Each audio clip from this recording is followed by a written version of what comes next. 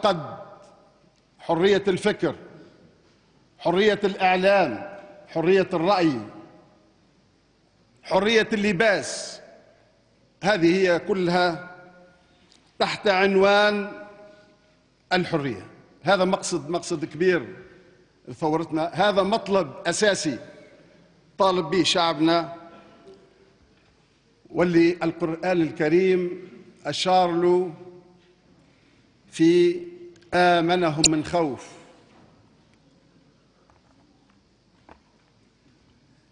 مش الأمن الأمان. والأمان تعني الطمأنينة تعني السلام تعني الحرية. الجناح الثاني اللي ترفرف به الكرامة لشعبنا هي هي الكرامة الحسية. أن لا يبقى مظلوم أن لا يبقى جائع أن لا يبقى محروم في تونس.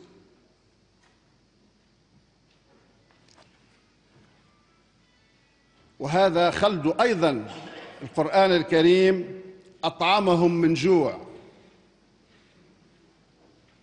وللنجم نقولوها باللغة الدارجة الآن الحرية والخبز فعلا. هذا شعار الكرامة شعار ثورتنا الحرية في وجه الاستبداد والعدالة الاجتماعية في وجه الظلم الاجتماعي والحيف والفساد. زوز أبعاد متلاصقين وجربنا وجرب العالم كله وجربت الشعوب أن لا حرية بدون تنمية ولا حرية بدون عدالة اجتماعية والعكس صحيح. إذا هذا هو هدف ثورتنا وهذا جاء البرنامج متاعنا اليوم. ولجسد الميزانية لتحقيق هذا المطلب لشعبنا مطلب ملح.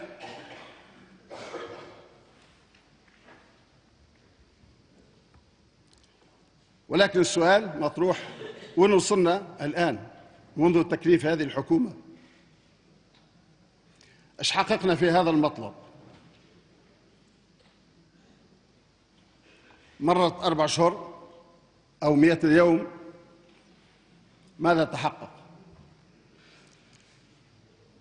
وش مش نعمله في الفترة القادمة؟ أولا لازم نقر أنه الواقع اللي وجدناه واللي نعرفوه كله يعرفه شعبنا واقع دمار شامل فعلا. يصح هذا التعبير. يصح هذا التعبير في البعد السياسي ويصح هذا التعبير في البعد الاجتماعي. استبداد ديكتاتورية وفي البعد الاجتماعي مظالم شعبية تفاوت في الجهات فقر بطالة رشوة فساد وإهدار المال العام.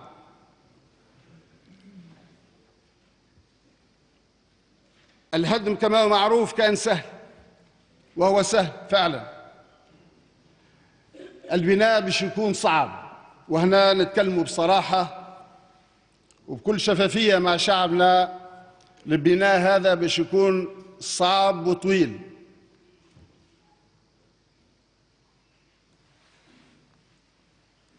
هكا علاش قسمنا الرؤية متاعنا العامة في البرنامج هذا إلى البرنامج العاجل أو المدة في العاجل. المدة على المدى المتوسط ومدة على مدى طويلة. المدة القريبة أو ما هو عاجل حددناها ب 2012 المدة المتوسطة وهي ضرورية باش ناخذها أيضا لأنه تواصل الدولة موجود والثورة متواصلة والتخطيط ضروري.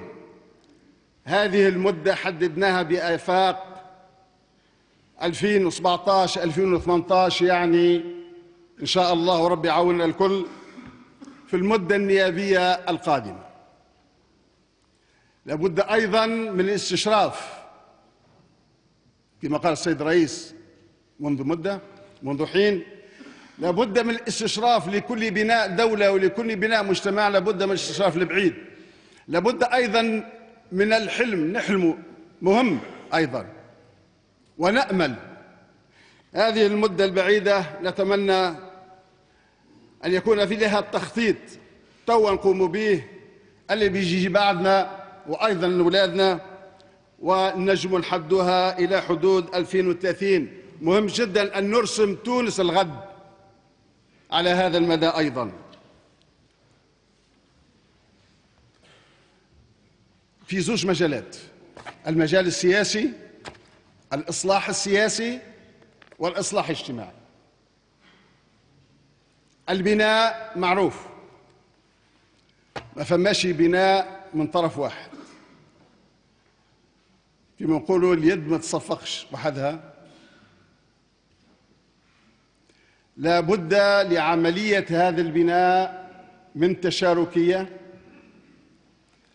من حوار من وفاق داخل شعبنا داخل النخبة لكل مكونات المجتمع. ونحن ندعو الجميع في هذه العملية في عملية البناء إلى فعلا التعاون رص الصفوف لأنه بناء يهمنا بكلنا يهم بلادنا يهم تونس. إحنا الآن في وقت نبني فيه بيت دار اسمها تونس. وفي هذا البناء هناك أساس وهذا من الجانب السياسي. هذا البناء نبدأوه بالساس أي الدستور. وهذه مهمة مجلسكم الموقر. سوف نسعى ونتمنى باش يكون دستور كل التونسيين. دستور يجمع لا يفرق. دستور لينا ولأبنائنا ولأحفادنا. دستور يقوم على قيم مجتمعية واحدة نرتضيها. وهذا شغل كبير. بدون ذلك وبعض المظاهر بدأت تبرز مع الأسف. دون ذلك سوف يكون الخاسر هي تونس. دون ذلك سوف يكون سوف تميل الكفة لا قدر الله إلى المجهول إلى العنف إلى الفرقة إلى ما يعبر عنه الكسير سوسيال وهذا نتمنى أن لا يحدث لبلادنا. ولذلك البرنامج حدد في هذا المجال السياسي الآن ولبناء الدولة الديمقراطية اللي تقوم على الحريات. أولا حدد أهداف. أن تكون المدة المدة النيابية هذه محددة. ونتمنى في آخر جلسات المجلس متاعكم هذا المجلس الموقر أن يكون الإعلان على تاريخ الانتخابات التي تقترح الحكومة أن تكون بين ربيع 2013 وصيف 2013 حتى نغلق هذا الملف أو هذه الصفحة. وما عادش فما شكون يقول حتى الوقتاش باش تقعدوا؟ صحيح. فما تجاوز للعام ولكن ليس الأهم هو نتجاوز شهر ولا شهرين وثلاثة ولكن المهم أن تكون الإرادة السياسية واضحة ونمشيوا للانتخابات بعد ما نقر الدستور وعلى كل حال هذا مربوط بأعمالكم. الحكومة على الاستعداد إذا كملتوا في ثلاثة أشهر ولا ستة أشهر مستعدة أن تتخلى لمن سيخلفها بعد انتخابات. إذا هذه قضية المجلس مجلسكم الموقر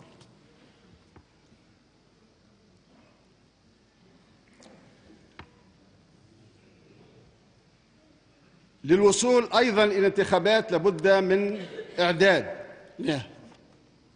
وهنا أيضا. وقدامكم الخطوات أو الإجراءات. لابد من هيئة مستقلة للانتخابات. وهنا بكل وضوح وكل شفافية القضية أيضا عند المجلس التأسيسي. نحن نقدر اللجنة السابقة للانتخابات على مجهودها على الصورة اللي تمت بها الانتخابات صورة جيدة مشرفة على التجربة اللي اكتسبناها. ولكن هذه الهيئة المستقلة لابد أن ترجع إلى المجلس التأسيسي للبت في محتواها وشكلها. وسوف تتقدم الحكومة كما لغيرها. باش تقترح عليكم مشاريع في الأيام إن شاء الله في الأسبوع وأسبوعين القادمين. كذلك هيئة الإعلامية الإعلام السمعي والبصري نفس الشيء تقديرنا واحترامنا لما تم. القانون اللي نظمها أو المرسوم اللي نظمها. ولكن الآن فما شرعية انتخابية مش فقط شرعية واقعية كانت قبل. هذه أيضا وكل هذه المؤسسات لابد أن ترجع إلى المجلس التأسيسي معليش باش نطول عليكم الإجراءات موجودة. في البرنامج وعلى الإكران هناك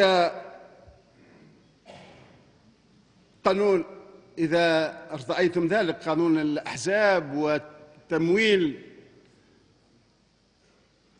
الأحزاب. البلديات. هل نذهب إلى انتخابات أم تجديد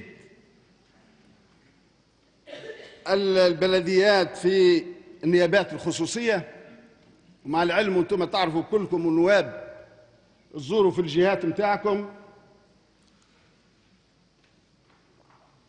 أن وضعية كثير من البلديات سيئة من حيث التسيير من حيث الميزانية. من حيث دورها الآن في الجهات سيئة. كيف كيف؟ المجال جهوية.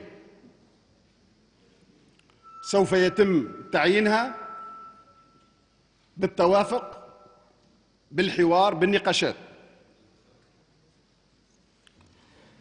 هناك لجنة أيضا للخبراء الاستشاريين.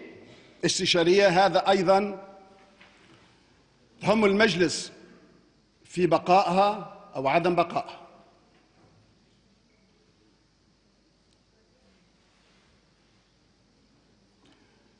في ملف الفساد تم تفعيل الهيئة العليا للفساد. كيف كيف لجنة المصادرة؟ نفس الشيء. لجنة التصرف. ورينا أنه اللجان ذي مشتتة موزعة بحيث كان العمل متاعها غير جاد. كنا نخسر في الوقت خاصة في تجميع أموال الشعب اللي الداخل واللي البرا هكا علاش الآن تجمعت هذه اللجان في لجنة عليا؟ باش نسرعوا وباش تكون أيضا الشفافية وباش يكون العدل خاصة في قضايا المصادرات. حيث قلصنا من نفوذ هذه اللجنة ويستطيع الإنسان اللي صودرت أمواله أن يتظلم إلى القضاء. هذه كلها سيداتي سادة الإجراءات العاجلة في المجال السياسي قدمناها لكم في حزمة كاملة. نأمل أن تصل بنا هذه الإجراءات إلى تحقيق هدف كبير في الإصلاح السياسي وهو الانتقال ببلادنا من من طور إلى طور. نتمنى أن يكون بعد الانتخابات قد زدنا لبنة, لبنة أخرى في دولة القانون والمؤسسات دولة ديمقراطية نظام ديمقراطي قاعدته الحرية.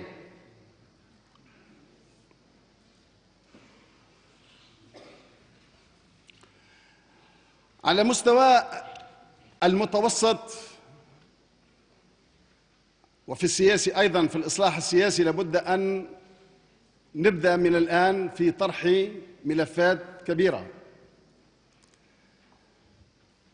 مع بعضنا بالحوار الوطني من مثل العقد الاجتماعي. وربما أوسع من ذلك ميثاق أو وفاق مجتمعي. حول قضايا تموقعنا الاستراتيجي والدولي الإقليمي. بالذات هذه قضايا مهمة قضايا نحب نفتح فيها من الآن الحوار الوطني باش نخطط للمرحلة القادمة مرحلة ترسيخ هذا البناء البناء الديمقراطي.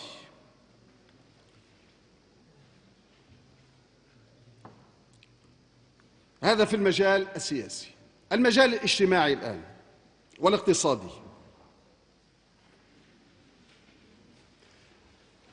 هنا الوضع ربما أخطر وأفدح والدمار أكبر. كما قلت في الأول تفاوت جهوي رهيب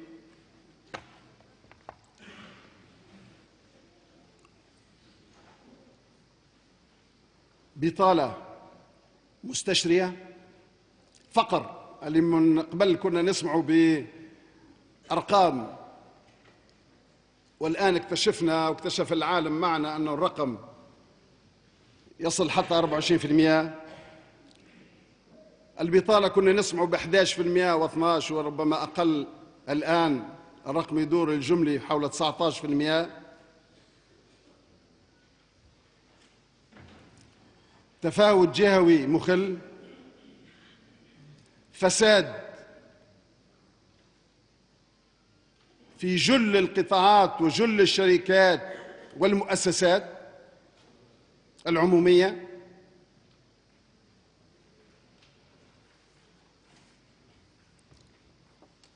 أموال طائلة هربت نهبت في الداخل وهربت إلى الخارج. كل هذه عوائق كبيرة. كل هذه الآن